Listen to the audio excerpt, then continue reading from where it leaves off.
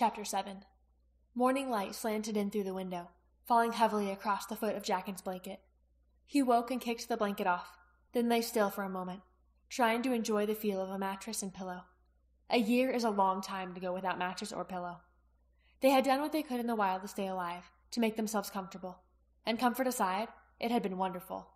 What am I thinking? There had been the loss of his beloved dragon, real fear, scrabbling from meal to meal, the need to always keep out of sight. In the mountains, all he'd cared about was staying alive and getting home. Yet not quite a week home in the nursery, and here he was suddenly wishing he could go back. Now that time shone in some sort of golden light, like a miracle. And miracles, by their very nature, only happen once and are gone. Wake up, lazy legs! It was Aki, her sending snaking into his head. I'm already up and eating breakfast. The sending bubbled with the dark, popping red of a cup of takk, though neither of them drank the dragon blood based drink any more. Aki! His sending was nearly a shout. It had been too many days without her constantly in his head. That was what he missed more than anything, what had made the year in the mountains wonderful. But still, he had to ask. Why are we sending? Likkarn's already safely away in the barn. Karina says he's been there all night. Must have been a hatching. He won't be able to hear us, and no one else can. I'm there, he said, getting out of bed. What? Erican sat straight up in the top bunk next to Jackin's. Breakfast, Jackin said, a finger to the side of his nose. Smell it? I'm there. You coming? Erican shook his head, then turned over, showing only his rounded back. Jackin shrugged. Five days of Erican's back was enough. If Erican wanted no part of him, then he'd let the friendship go, though he did wonder what had happened in the year he'd been away to change the always pleasant boy he'd known into this sullen, angry stranger. It can't just be the bond thing, can it? Putting on his sandals, Jackin stood. He had enough problems without making Erican another one. Eric was already up and pulling on his shorts. I'm with ya. Jackin grinned at him. At least Eric had a sunny disposition, unlike sullen slack and my back to you, Erican. Breakfast. That's the answer. It's always the answer, Jackin said. To what question? Eric asked. Jackin laughed. To every one of them. At the same time, he unleashed a sending toward the common room, where Aki was waiting. Get some lizard eggs ready for me. He sent a bright red, bubbling landscape to her. He wanted to say more, but he'd save that for later. A rushing, gushing river of color came back from her, burbling away.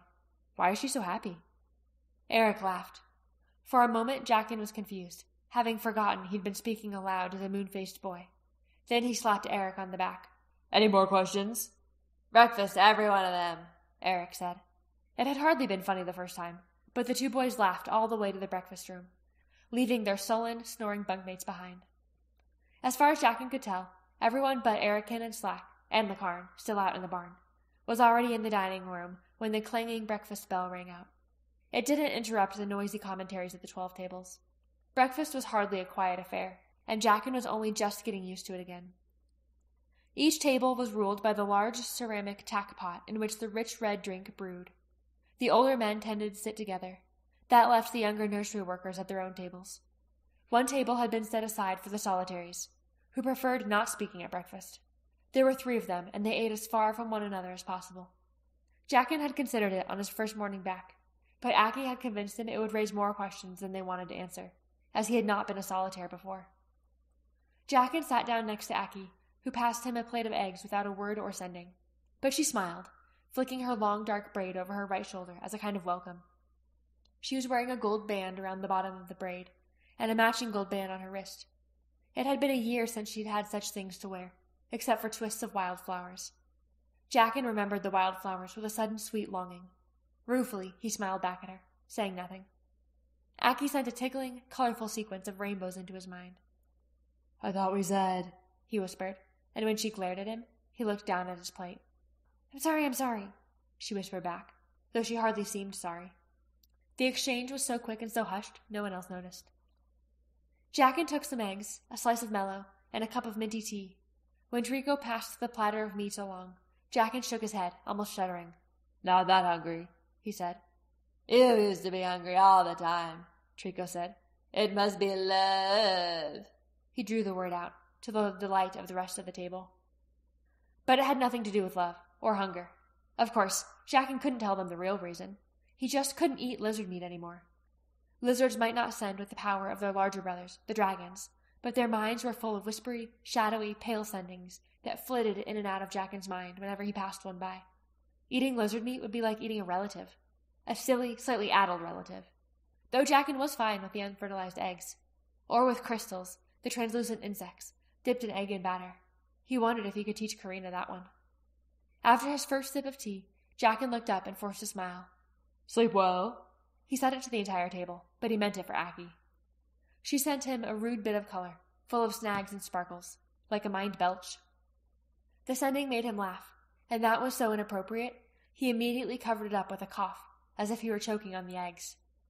Looking down at the table demurely, Aki said loudly, I don't know about anyone else, but I slept like a baby, easier on a mattress in bed than the stone floor of a cave.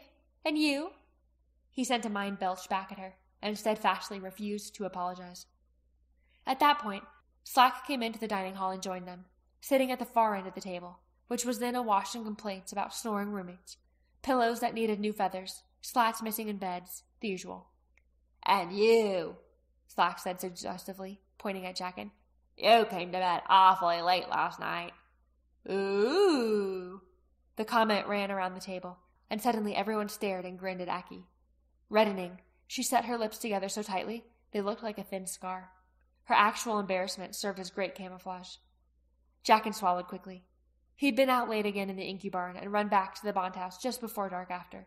He hadn't seen Likkarn that time, but if Aki was right, the old man must have been crouched down with an about to lay hen. He reminded himself to be more careful. Still, he had to deal with Slack's accusation. Stomach problems, Jackin said, making a sour face and pointing to his belly. Not used to all this rich food. He rubbed his palm over the offending stomach, but no one seemed convinced. And really, how bad could it be if they think Aki and I are together at night? It would give us more chance to move about. Just then, Karina came out of the kitchen and overheard him. She stood in the doorway, hands on her hips, glaring, though her face gave her away as she tried to hide a smile. Jackin saw her and gulped. Rich, good food, Jackin amended loudly. She came over and clouted him on the head with her open hand. Nice save, Aki said, with a picture of a drowning man being lifted from a river by a very large red dragon. It set the man down on a beach, then clouted him gently with a paw.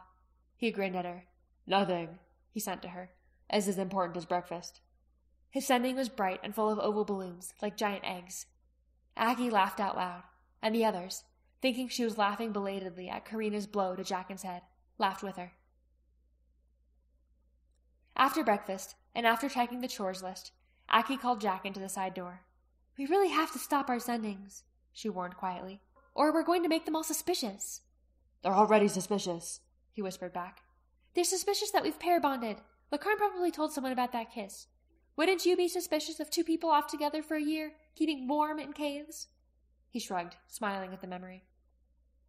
And one of them going walkabout at night? Where were you? We can't afford to let them suspect that we communicate without words or can go outside during dark after. She turned away from him, sending, You really are exasperating. Wait a minute. His hand was on her shoulder. You're the one who keeps sending, not me. I know, I know. I said we. It's just so easy. She shrugged off his hand. See, she sent. We can both shrug. And opened the door, looking out into the glaring light. I think Slack is already guessing. Not Slack. He's not that smart. He's just jealous of me, that's all. Erican's too angry about something else to be guessing anything. The rest don't know either of us well enough. Except. She spun around. Except? Old Likkarn, of course. She glared daggers at him. I can handle him. You're the one who has problems dealing with him. I wish I knew why. He's really all hoff and no harm. That was something nursery folk said about male dragons. Jackin's face scrunched up, the way it did whenever he was going to say something hurtful. Maybe he never harmed you, he began. But there's not a boy in the nursery who hasn't felt his heavy hand. He thinks a bang on the head or arm or back is a good teaching tool. He's only treating you the way dragon studs treat them young males, Aki said. That's all. And me worse than the, all the others combined. Sometimes, Aki told him. Boys whine too much. She turned and walked out the door. He raced after her. Where are you going? To the incubarn, to check on Oracle and the hatchling. She kept walking, a fast, long stride. She was fine last night, and if there's a change, we'd know because Oracle would have sent to me, or you. Aki stopped suddenly, looking at him over her shoulder, glaring. Oracle is the dragon, not a doctor. She resumed walking. You're not a doctor either, Aki, he shot back cuttingly. Not a real one. That was too close to the bone. Too close to what she feared the most. Aki rounded on him angrily. It was easier getting mad at him than getting mad at the world. I'm the nearest, almost doctor this place has. That's why visiting the quarantine dragons is on my list of chores, not yours. She felt taut, like stretched wire. Likkarn and the men know I'm the one they have to go to for medical knowledge, especially now with the embargo. Likkarn says that though medical ships are allowed through, few have actually come. I didn't mean. She suspected that at least was true, but couldn't stop herself from saying, You never do. He put his hand out beseechingly, as if he wanted to touch her. Instead, he said, We never fought out there. He gestured vaguely toward the mountains. Her anger ebbed, her face softened. She took a deep breath. We fought all the time out there, Jackin. He shook his head. Not really. Not fought. We argued. But we always agreed on the important things. The life or death matters. And there were a lot of those. A soft breeze touched Jackin's face, lifting the hair on his forehead, then letting it fall again, almost obscuring his eyes. Watching him, Aki suddenly felt terribly young and vulnerable. But she couldn't let herself feel that way. Too much was resting on her shoulders, and it frightened her. She wanted him to understand. Jackin! She was ready to tell him about the rope and the lab and how she'd gotten Karina to find a way to get her there, and that only this morning Karina said there was a truck coming to take her off. Today. Jackin, about the nursery. We're safe here, Aggie. Safe from the wardens and the rebels and the trogs. We're home. It's where we belong. I've finally, just this minute, figured it out. We don't really have to do anything about the dragons, you know. Just keep the secret safe.